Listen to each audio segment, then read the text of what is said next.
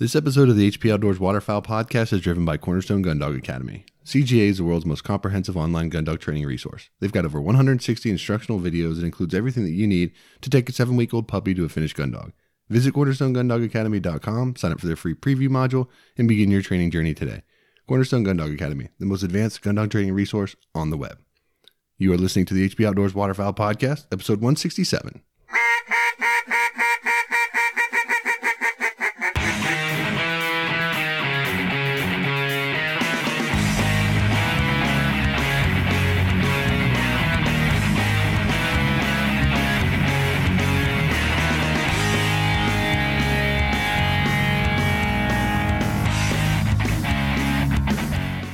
This episode of the show, Dan and I are doing the obligatory New Year's episode.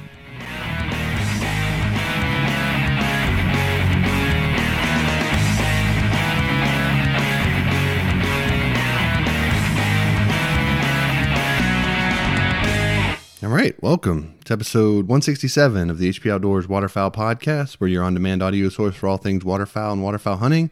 This week brought to you by Dunn's Sporting Goods. Dunn's is a family owned and operated business with two locations, one in Peabody, Missouri, and Marion, Illinois.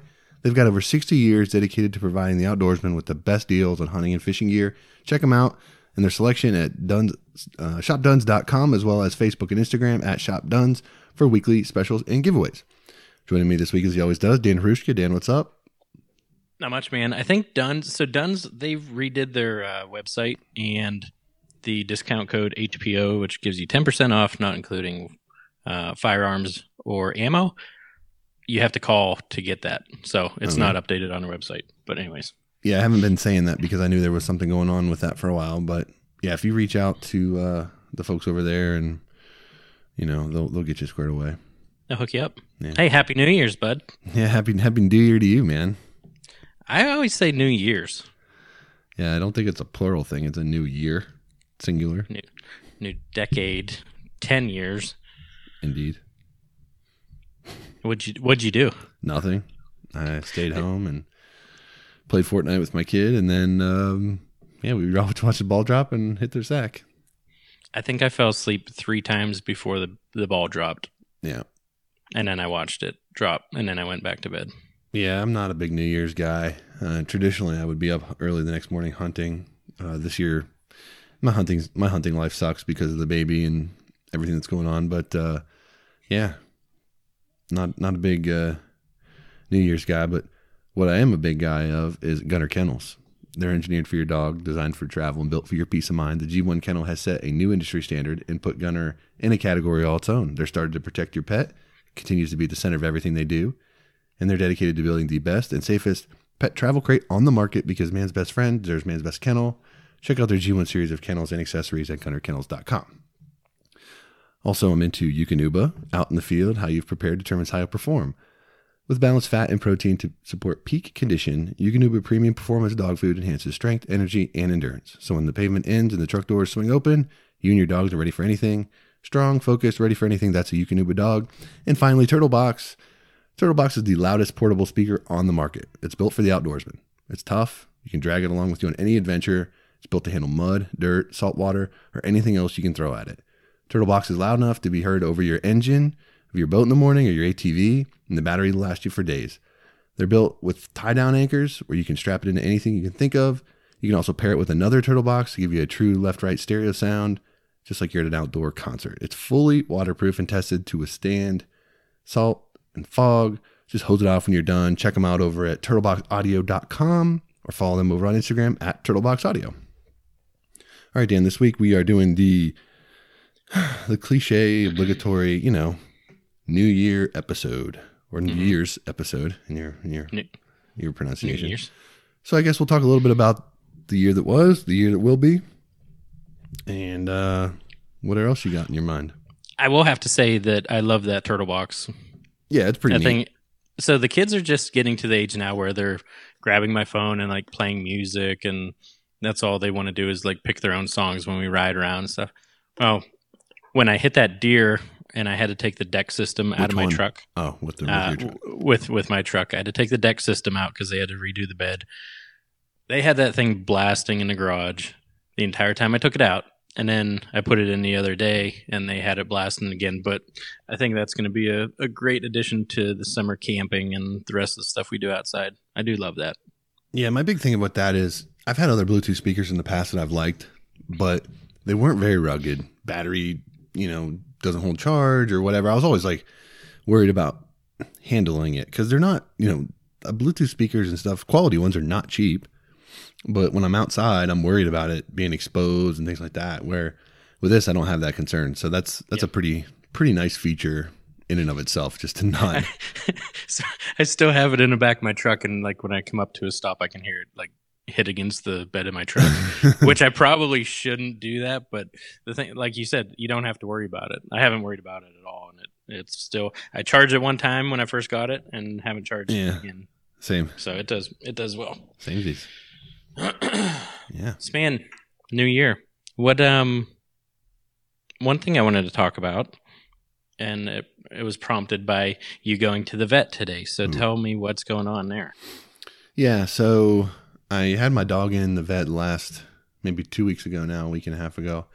And just for his annual stuff and you know, blood work, everything looks good, but it was weird because it, and it, so I've noticed his eyes looking a little um, foggy to me, kind of, which I don't think is abnormal for a dog older that's older. You know, yeah. they, that starts to happen over time. But I had noticed it and wasn't really that concerned about it. Well, we went to the vet, and my dog is still very, very hyper. So like, it's tough for them to really evaluate and test him. So they went through everything and they wanted to look in his eyes, but he was just not cooperating. And his eyes were all bloodshot. Like he was so wound up. So they were like, well, we'll just whatever. And uh, they were going to give give him his immunizations. Right before we got to that, he kind of calmed down at the end, and I asked him to just take a look again, or you know, just to try to take a look in his eyes. And looked in the left one, and it was fine. Looked in the right one, and the vet got concerned because he had quite a bit of pigment that she could see in there. So she didn't want to give him the uh, vaccinations that day because she was concerned that it could be like something more serious going on in the eye, and that if you put in all these um, immunizations into the body, the system, it, the, his system might kind of go into overdrive fighting those, and it might actually cause more harm to the situation in his eye, whatever reason. Oh, so we held off on those, and I took him to the specialist today, and it turns out he's got. Um, I don't know. I can't look at my phone right now because I've got you on Facetime, but uh, whatever it was that I sent you that it was called. But it's essentially um, pigment gets into the eye, and it's uh, it's very pigmentary uveitis. Yeah, it's, yeah, something like that. So it's very common in golden, very common in golden retrievers, and is basically like a precursor to uh, glaucoma and things like that. So essentially, she said it's pretty advanced, and um, it's most likely that he will have months to maybe a year and he will have like glaucoma in that eye. So we're going to put him on some medication to try to slow that process and hopefully his body responds well to that treatment. And I basically just put like a eye drop anti-inflammatory in the eye to try to stop that progression. But uh, if it doesn't, and it is a very progressive kind of disease, um, essentially when he when it does become where he's got glaucoma in that eye, and it's actually in both, his one eye is just more progressed than the other. Mm-hmm. Uh, it can be, and it is painful and uncomfortable for them. So mm-hmm. there's a, f- a few options. There's not a lot, but um, you know, one does include like straight up removing the eye. So, Ooh. you know, hopefully my dog doesn't have an eye patch um, here in like the next year that he's got to wear around. But um, you know the the shame of it is like it's so common in dogs and they think it's like a hereditary thing that that specifically for golden retrievers. But um, hopefully he responds well to this treatment and it won't cure it but hopefully he will it will prolong it to where you know his natural lifespan runs before having to like remove an eye or something like that. But yeah it's not ideal. It's going to have to be something treated for the rest of his life so it's not going to be cheap and uh, yeah i'm not super pumped about any of that yeah. And that's one of the things that I was going to bring up was just pet insurance. And I've seen it, you know, being on um, CGA's Facebook page and, you know, SOK, their, their Facebook page. And people are really, you know, this has just become a thing in the last few years. It seems like it's really catching on.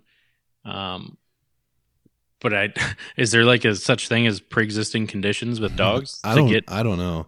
I, I, I can tell you. You know, a lot of people, waterfowl hunters specifically, are interested in getting a dog for hunting, and I love. I love my dog. He's a member of our family. He does not hunt. He's a house dog. But I'll tell you this: I don't know if I'll ever own another dog again because he has been incredibly expensive, like ridiculous. The vet bills Yeah. that we've spent on him have been freaking absurd. It's like, you know, he's got um, bad skin, so he's always got like issues with his skin. He's got food sensitivities, so there's issues there. He's got uh, because of his bad skin, he gets ear infections all the time, which we've battled a bunch. Uh, because he's got bad ears, he he's shaken them to the point where he is he's had to have hematomas uh, removed in each ear surgically. He had like the anal thing, like earlier this year that had to be removed. Um, you know, just it's just never ending with him. And now that he's going to be medicated the whole like for the rest every month the rest of his life, um, you know, I just I, I caution people like the the romance of hunting with the dog is awesome, right? Like that whole Mhm. that whole piece of it and the thought of that and the, those memories and that and that stuff is is amazing. I love I do love hunting with dogs, but I can tell you if you've never owned a dog before and you're trying to you know the purchase cost and like the, the kennel and like the things you buy in preparation to bring the puppy home is just the tip of the iceberg. And some dogs are going to be better than others, but what I would say that I've learned through this experience is one, factor in all of those costs and multiply it by more than you think that you're probably going to spend because like all it takes is one weird thing to come up and it gets so expensive. Um, two, really, it's re- it's so important to do your research and get a dog with with good bloodlines. I mean, my dog is a purebred golden retriever, and obviously they have issues with them, but like if you are buying a dog that is not bred with good genes and, and bloodlines, you're you're you're setting yourself up for higher probabilities of experiencing these hereditary things that my dog is going through, right? And Yeah. you know, my dog's almost 10 years old now, so it's like I've I didn't know what I didn't know. And I thought, you know, we were we were getting him, you know, and I, I'm not saying that my breeder wasn't reputable, but like I'm not sure that they were properly breeding to try to uh you know Eliminate those factors. yeah get away from some of these traits that like i think they were just letting whoever breed and not really tracking that kind of stuff. So i mean yeah but it's been almost since the beginning of him you know he's just always had something going on. So the amount of money that we've spent on him and the amount of hair that he has shed in our house is uh i mean i can tell you my wife is definitely out on dogs from here on out. Like she is 100% out. And I kind of fought that for a while because I always, you know, wanted a lab and a duck dog and all that kind of stuff. But I'm kind of with her now. Like I'm not sure I need that in my life anymore. It's just too. It's just so expensive. See, and I didn't when I got Kimber, I was the same. Like, didn't do a ton of research. I knew her dad was a senior hunter, um, and you know, a, a good breeder, like you said. I did research on them, but then I looked at her bloodline and everything, and and you know, it's just top of the line, and haven't had any issues with her like that. I had one. There's like a sty or something, a little cyst on her eye that I had to get removed, but it was yeah, we had nothing one. we like had one of those too. nothing like what you've been through. Mhm. So anyway, uh, from a quick Google search, uh, for people that do have dogs and are looking at pet insurance and cost and everything, it says that the average cost for cancer treatment for a dog is seven thousand six hundred seventy-one dollars. That is not insured, and most of the time you can pay any- anywhere between ten to hundred dollars a month most of them most people can expect to pay between 30 and 50 per month for uh for insurance for your dog so something to look into No, no doubt. I mean, I spent 200 today just on the visit, and I haven't, Yeah. even, I haven't even went and got the medicine yet. And I paid 600 last time because he has Ooh. a cyst on his uh, ear that we had to have, you know, poked and see what kind of cells are in there and all his blood work up and stuff. I mean, vet bills are expensive, and I mean, maybe they're higher where I live. I wouldn't doubt that, but I mean, you know, Vets make lot. vets make a good living. I'll tell you that. Yeah. So, man, one thing I wanted to talk about, you know, kind of looking back over this year and going forward into next year, and I'm having a very internal debate, but I think it'll get settled pretty easily. Um, over the last few years, I've really, really got into, I guess, fell in love with duck hunting more than goose hunting. And it's kind of my jam now. I really would rather go duck hunting than goose hunting. Now that the kids are coming around, I feel like I need to spend more time in fields. I'm getting really nervous about them being around water. And I think just the thought of being in an A frame, them being able to hide a little easier than some of my duck spots, mm-hmm. um, can kind of hang out, can run around if they have to. I just feel like this coming year, I'm probably going to start transitioning back into goose hunting more than duck hunting. Yeah, I, I mean, I kind of feel you on that. I've always, I've always enjoyed duck hunting more than goose hunting, but because of where I live and where I hunt most of the time, I primarily hunted geese because that's what we had. Right? You kind of Mhm. gotta hunt what you have. But I love duck hunting, and I think I love duck hunting more than goose hunting because there's a variety of things, but mainly I'd like to eat ducks better than I like to eat geese. So um, that is the number one driving factor for me. I can kill a mallard and breast him out and throw it on the grill just like it is and be fine. Where I feel like I gotta, you know, go to work on geese a little bit to to get them edible at times.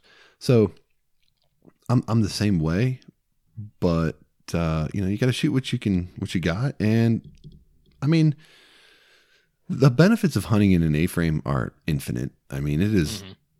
So much more comfortable like than layouts. And for all the things you talked about is are perfect for kids and allowing them to stick their head up and look out and see the birds coming and then tuck in you know and move around. And it's just i mean for the all the same reasons that it's good for kids it's the same reasons i like it for me. Because i'm more Mhm. comfortable i can move more freely I, you know i can conceal easier. It's just it's just good stuff. And uh, i think that's why you're seeing the popularity of that style blind increase, particularly this year.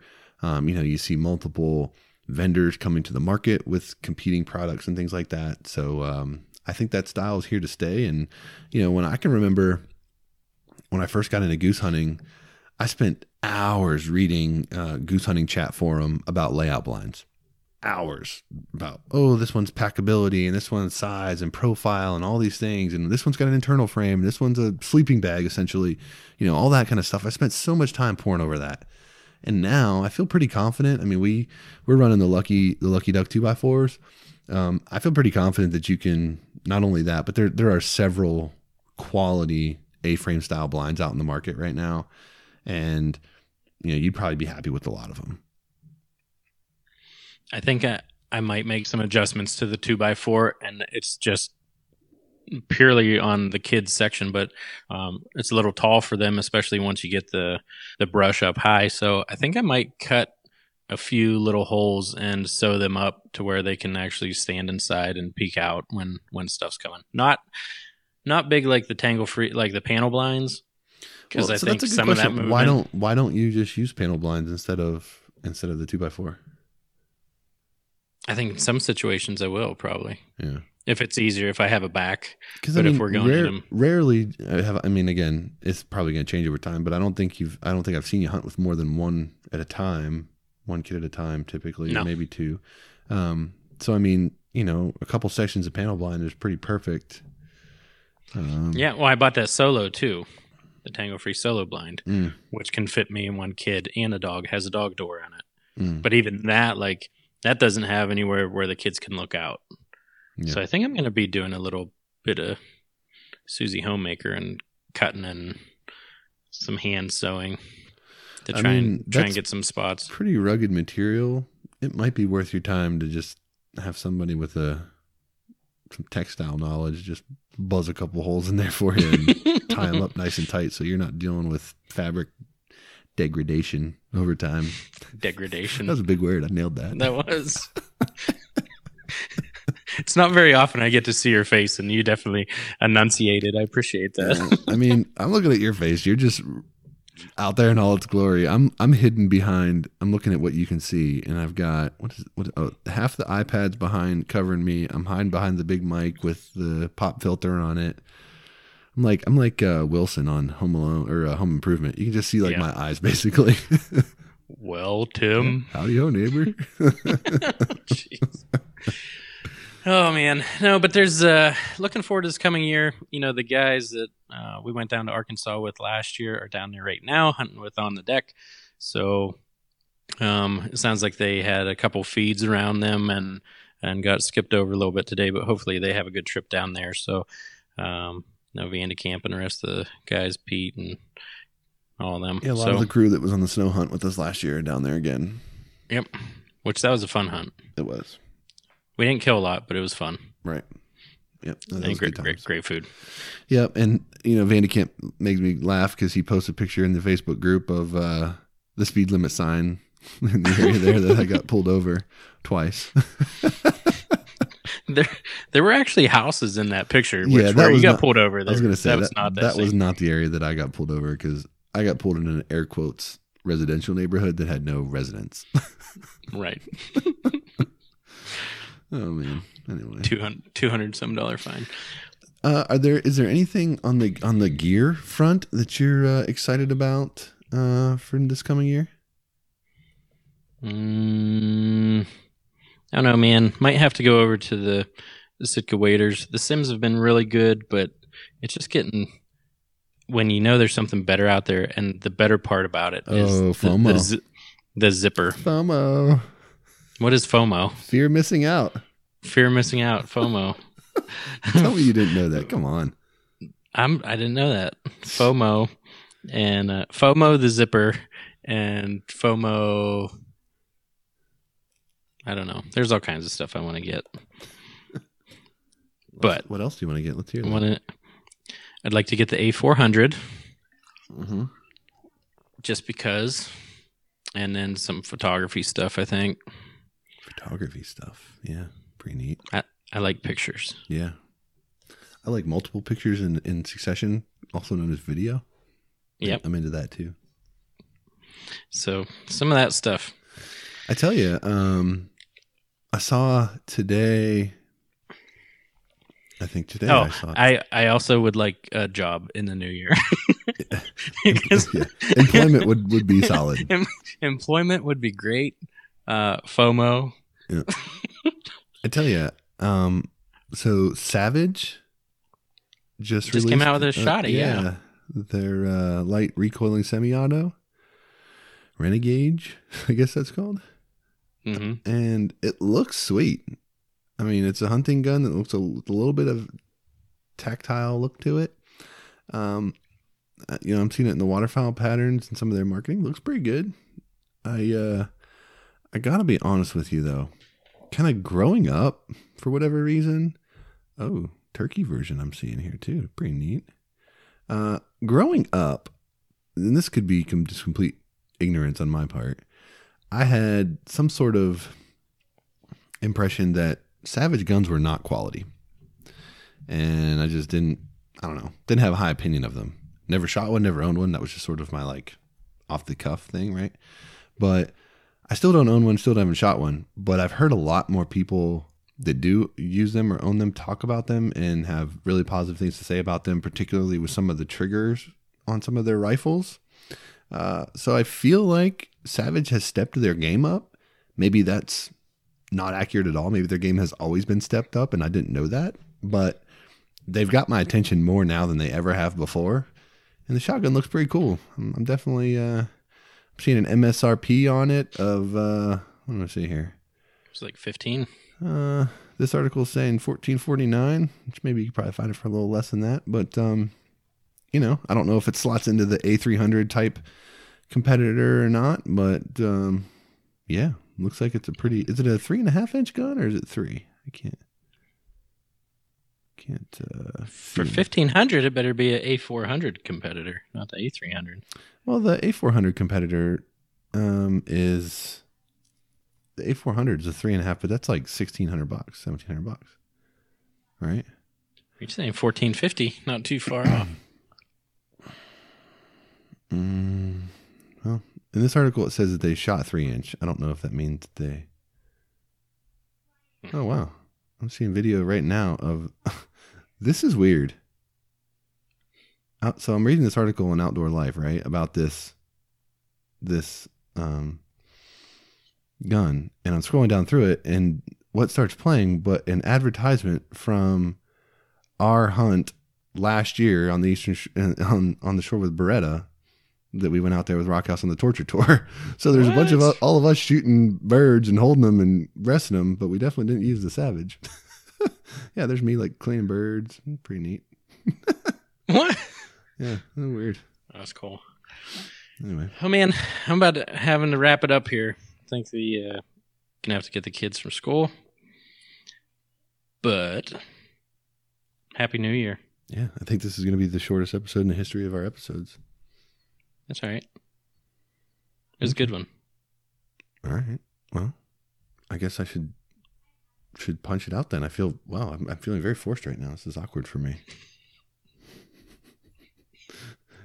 One last thing or anything else? You just just daddy daycare starting up? Like I don't I don't get it. Yeah. Hey man, uh, you know the I got a new role with my unemployment, and uh, just got to do what I got to do. Okay. Well, I guess we'll wrap this up, and I'll go get back on the sticks and do some Fortnite. And Jeez. it's pretty fun. Not gonna lie. And you know what? It gives me I would I would play against you, but I don't have that, and my internet would be too slow. So. Yeah, your internet sucks. It's cool. I'm I'm gonna play with Joe. He's he's got it under control. Anyway, Double. yeah. All right, let me get this out so you can get the kid daycare going. But before I do that, take a minute to thank Dunn Sporting Goods, Gunner Kennels, Eukanuba, Turtle Box, and Cornerstone Gun Dog Academy, the world's most comprehensive online gun dog training resource. They've got over 160 instructional videos that includes everything you need to take your seven week old puppy to a finished gun dog. Visit cornerstonegunDogAcademy.com to sign up for the free preview module and begin your training journey today. Cornerstone Gun Dog Academy, the most advanced gun dog training resource on the web. That does it for episode 167 and our look back at last year and brief look into this next year. If you're new to the show, head over to iTunes, check out all of our past episodes. You can leave us a five star rating and review while you're there. It'll help us reach like minded hunters just like you. That's going to do it. Till next year. Actually, I guess this is next year. So for until next time, for Dan, I'm Josh. Take care.